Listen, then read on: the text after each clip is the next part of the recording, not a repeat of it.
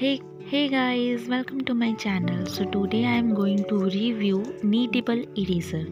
तो अगर आप फ़र्स्ट टाइम ये इरेज़र देख रहे हैं तो ये वीडियो आपके लिए बहुत हेल्पफुल है। पर अगर आप एक आर्टिस्ट हैं तो आपको ऑलरेडी ही इस इरेज़र की इन्फॉर्मेशन होगी। तो ये उन लोगों के लिए है जिनको इस इरेज़र के बारे में इन्फॉर्मेशन नहीं है। तो मैं बताना चाहूँगी ये जो नीडेबल इरेज़र है स्पेशली ये आर्टिस्ट यूज़ करते हैं डिटेलिंग के लिए। तो इसको अनबॉक्स कर लेती हूँ मैं, इसका पैकेट ओपन करके। फिर आपको दिखाती हूँ कि इरेज़र होती क्या है।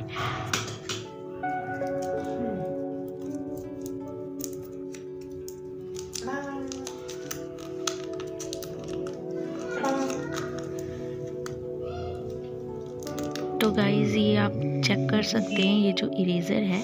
बहुत ही सॉफ्ट सी है और जैसे एक च्विंगम होती है ना च्विंगम की तरह ये देखिए स्ट्रेच हो रही है और जैसे क्ले होती है जिससे छोटे बच्चे खेलते हैं तो वो क्ले की तरह ही कुछ ये इरेज़र होती है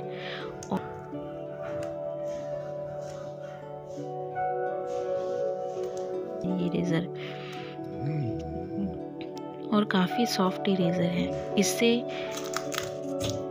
इससे आप कोई भी शेप दे सकते हैं, जो भी शेप आप देना चाहें। जैसे क्ले से हम बनाते हैं कुछ भी, उसी तरह से, इस इरेज़र से भी आप बना सकते हैं। और इसे इस तरह से मिटा सकते हैं।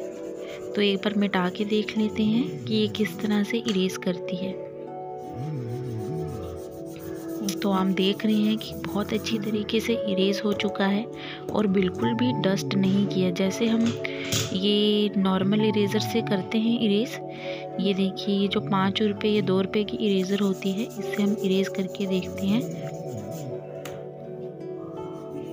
तो देखिए, जब इरेज करते हैं तो इसमें से डस्ट निकलता है। डस्ट निकलता है तो ये इरेज़र धीरे धीरे ख़त्म हो जाता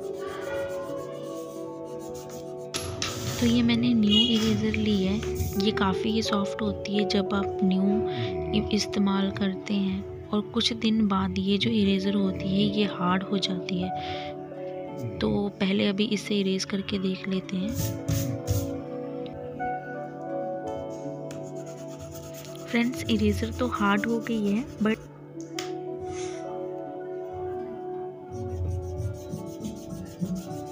तो इसे इरेज करके देखिए कितनी अच्छी तरह से इरेज हो गया मतलब अभी भी वर्किंग में है। अब आप जो ये देख रहे हैं ये इरेज़र मेरी वन मंथ पुरानी है। तो आप देख सकते हैं कि किस तरह लेदर की तरह ये पूरी हार्ड हो चुकी है बिल्कुल एकदम ही हार्ड है। इससे शेप्स भी नहीं बन रहे हैं जल्दी और इसमें जो खिंचाव होते हैं जैसे च्विंगम में होते हैं बिल्कुल वैसा भी नहीं है। तो एक बार इसे इरेज़ करके देख लेते हैं कि इससे इरेज़ हो रहा है कि नहीं हो रहा है। तो फ्रेंड्स आप देख सकते हैं कि बिल्कुल अच्छी तरह इसे अरेज हो रहा है। इसका मतलब ये है कि ये इरेज़र हमेशा यूज़ आती है, ख़राब नहीं होती है, बस ये धीरे धीरे सॉफ्ट से हार्ड बन जाती है, पर ये इरेज़ करती है। तो अगर आप ये इरेज़र बाय करना चाहते हैं, मैं लिंक आपको डिस्क्रिप्शन में डाल दूँगी। काफ़ी अच्छी इरेज़र है। आप इसे बाय करिए और कभी भी इरेज़र ख़त्म नहीं होगी। वैसे मेरी तो इरेज़र हमेशा खो जाती है। ख़त्म तो कभी नहीं हुई है। Thank you for watching this video